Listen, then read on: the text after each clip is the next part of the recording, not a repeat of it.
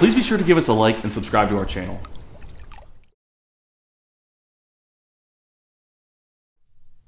Hi, I'm Matt with API. Today we're going to talk about phosphates. You know, phosphates get into pools from so many different ways, not only from stuff that happens just outside the pool blowing in, but also products that you can put into the pool contribute to the phosphate level.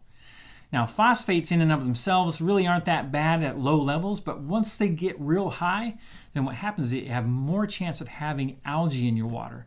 So if you have an issue with high phosphates, we got the answer for you. Revive. Revive actually takes out 2,000 parts per billion of phosphates in 24,000 gallons per bottle. So if you have a really bad issue, you just use a little bit more. And here's how you work it.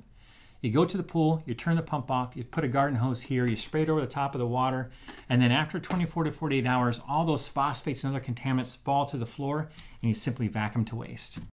API Simple products, amazing results. Thanks for watching.